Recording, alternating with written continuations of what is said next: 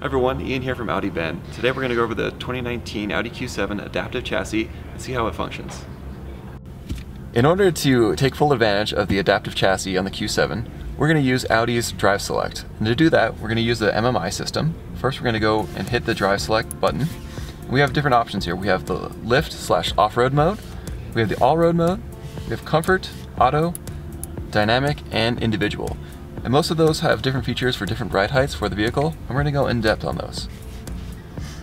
So the standard ground clearance for the 2019 Q7 with the adaptive chassis is 205 millimeters.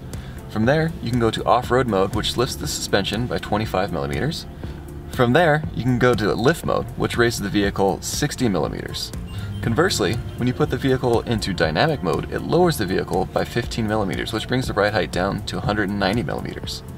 The adaptive chassis has one more trick up its sleeve. If you're loading something heavy into the rear of the vehicle, it can be hard to get it all the way up there. One option we have is the load mode, which lowers the rear axle only by 55 millimeters. Alright guys, I hope this video gave you more information regarding the air suspension and the adaptive chassis on the Q7. If you have any more questions, leave them in the comments below. I'll be happy to help you next time. Once again, this is Ian from Audi Bend. Thank you so much. Kendall, let's start something great.